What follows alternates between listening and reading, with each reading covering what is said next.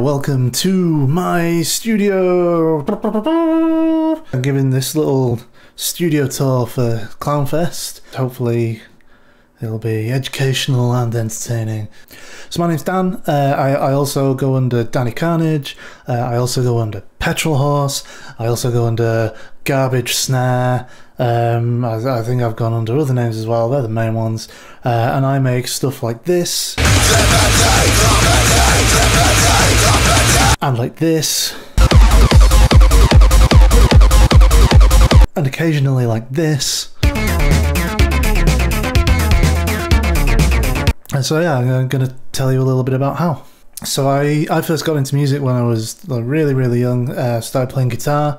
Um, got into kind of metal and punk really young. Then started moving into electronic music a bit uh, when I got kind of in secondary school. I got my first piece of kit was a Yamaha RM1X uh, sequencer with which I created very very bad music. From there, I kind of I've done a lot of crossover stuff with like metal and punk and and electronic mashup stuff and industrial. Uh, I still do that stuff, but now I also do techno and, and particularly like acid techno, really fast, hard acid techno. I've played guitar in grindcore bands. I've been a horse, um, and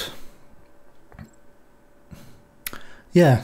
So this is the studio. Um, got my keyboard, synth corner there. Um, guitar amp, lots of cables on the floor. Um, oh, that's where I store printer paper. Look, so that's good. Um, I got my PC, got my uh, KRK monitors, KRK um, headphones, right there. Uh, that there is my biggest fan. Uh, that's obviously I'm watching the video back on that screen, so that's spooky. Uh, a little Focusrite sound card under there. Um, and then that's my co-producer. Okay, so until very, very recently, this was how I made all of my music in Ableton Live. This is one of my acid techno tracks. We got we got a kick. This sounds fucking massive. So here is how you do that. What I've got going on here is I've got, I've got like, look at this, I've got four different layers. I honestly don't know what they're all doing. I'm maybe not using all of them. So that's the kick, right? Um, it's compressed to give it more more attack. It's EQ'd to give it a kind of low end boost. Uh, what have I done here? I've monoed it using that utility. We've got a delay. So this delay is being sidechained. So it's saturated, it's EQ'd down, so it's a tiny little band here. And then it, it's being compressed um, by this kick. No, by this one, which is the same but is inaudible. And I'm just using it as a source for sidechains. So it's doing the same pattern as this kick but isn't actually coming through to the mix. It's then also being sidechained by this one, which is the same pattern, but I've just shifted it forward so that it, starts. So, this is so the first kick on this channel starts here, but that same kick on this channel starts just before the next one, um, because that's just. Uh, I've actually not got that on the delay. I use it on the reverb. Let's move to the reverb. So that's this is set up exactly the same. It's saturated. It's a reverb. It's saturated. It's EQ'd. Um, I actually have an exciter on this. It's being compressed to make it pump. And then this one is so that it actually goes back down to kind of zero again just before the next one hits. So the actual kick sounds bigger obviously the kick is the kind of backbone of this kind of music, so that's that's it. That's how you make your sound is with your kick. And that's how it sounds altogether. Fucking massive. So this is the hardware setup that I'm currently using. Um, this is what I've used in the garbage snare set um, that's uh, on Saturday night. Um, so we've got This is a Behringer Neutron. I've got a Behringer TD3, uh, which obviously is the 303 clone. Elektron uh, Digitakt is, I think, how you actually pronounce that. And um, uh, Behringer 2600, and a little mixer that I've had for literally 15 years. Um, uh, and yeah, and I, I have a MIDI keyboard, and that's my innovative patch lead uh, storage solution. The Digitakt is the uh, like the brain that's controlling everything. Um, so I've got eight uh, sample channels. It's also then controlling the neutron and the 2600. I've got the neutron just doing this kind of fairly simple um, saw wave bass sound, and I just have uh, like some different patterns that I can mute and unmute. I don't think I actually use this one in the set. Um, and then I have similar um, on the 2600. Um, and this is doing more of this kind of lead sound. Um, so it's a kind of sync lead.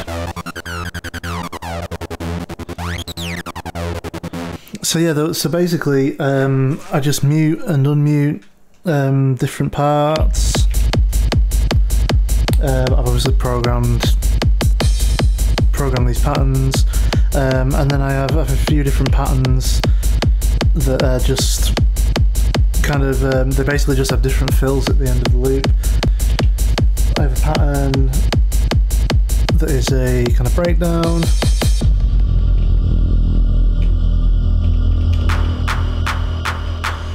Uh, and so this one's basically got a big reverby kick. This kind of breath, I think that literally is a sample of someone breathing. It's kind of weird horn, clap, and a snare. Then I have another pattern that just has some different sounds. So it's a different kick. The other sounds are the same. Uh, well, no, this rhythmic thing is a bit different. Um, got this kind of stab sound that I do melody with. And then just some slightly different rhythms.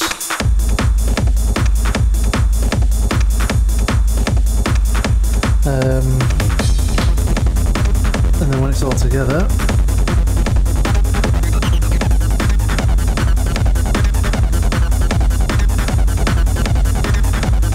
and the last piece of the puzzle is the TD3. I changed this knob because when you're doing this kind of performance, it's right next to the tuning knob, and I found that being able to just tell from feel whether it was the cut-off knob is really useful. Going through the uh, Digitakt to put some uh, delay on it. We've got a few different patterns on here, switch between.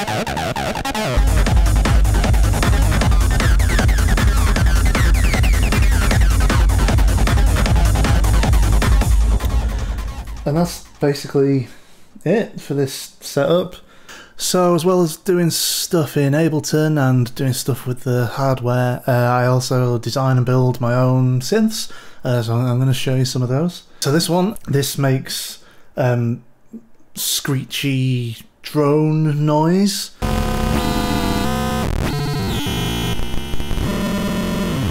So, this one, uh, this one makes screechy drone noise.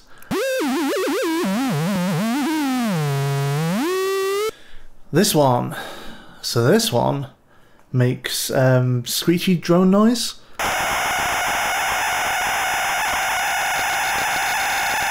It's got bits of hair stuck to it. It, it, won't, it won't come off. So this one is um, modular, um, a, kind of modular synth that uh, I use for making screechy drone noise. So obviously there's something of a theme there. Like they're all noisy drone synths. I do use them. I, I perform. I do noise drone performances with them, and they're also they're not very musical, but they're quite good for sampling weird noises out of uh, to use in other stuff. So yeah. That was my studio tour. I hope you enjoyed it. And please buy my stuff from Bandcamp so that I can afford synthesizers.